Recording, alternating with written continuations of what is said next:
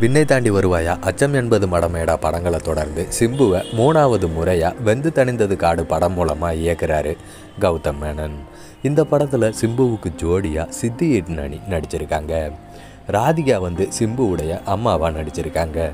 AR Rahman இசையமைக்க Wales films நிறுவனம் சார்பில் ஐசரி கணேஷ் தயாரிச்சிருக்காரு. இந்த படமும் வர செப்டம்பர் பதினஞ்சாம் தேதி திரையரங்கில் ரிலீஸ் ஆகும்ட்டு அறிவிச்சிருக்காங்க.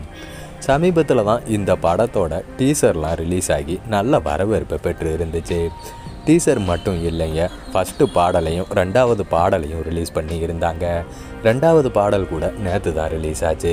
இந்த ரெண்டு பாடல்களுமே கேட்கவே அவ்வளோ ஒரு இனிமையாக தான் இருக்குது இந்த படத்தோட இறுதிக்கட்ட பணிகள்லாம் விறுவிறுப்பாக நடந்துட்டுருக்க நிலையில் இந்த படத்தோட பிரம்மாண்டமான இசை வெளியீட்டு விழாவை வர செப்டம்பர் ரெண்டாம் தேதி சென்னையில் பல்லாவரத்தில் இருக்க வேல்ஸ் யூனிவர்சிட்டியில் நடத்த இருக்காங்க.